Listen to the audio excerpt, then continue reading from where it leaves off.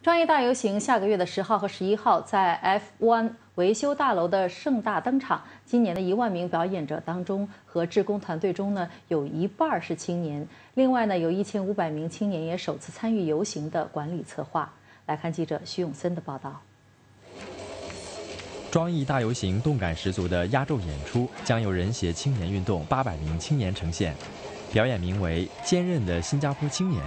借由水、火和风雨等气候元素，体现青年勇于面对挑战，在面临逆境时团结一致的精神。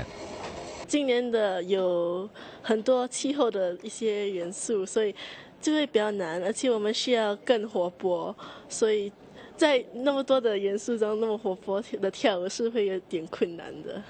今年也首次有一千五百名青年职工同人协一起参与游行的管理策划。庄艺不只是庆祝我们的过去，也是庆祝我们的将来。